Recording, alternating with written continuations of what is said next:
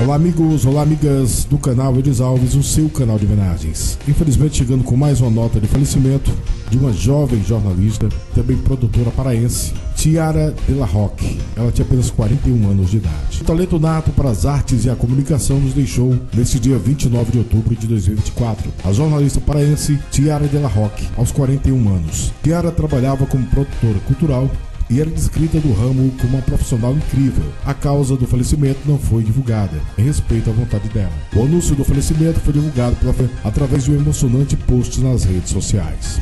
É com grande pesar que comunicamos a partida de nossa tão querida e amada Tiara. Certamente uma notícia muito dura de digerir e processar. Cabe somente ao tempo, ao divino mistério, Ti, como era conhecida, retornou para o reino de lá junto às estrelas que tanto lhe fez brilhar nessa terra. Do lado daqui sentiremos uma perda irreparável e uma saudade infinita, ao mesmo tempo que conforta saber que o legado de amor, amizade generosas, fartura de afetos, poesia, arte e tantas belezas que ela nos deixou.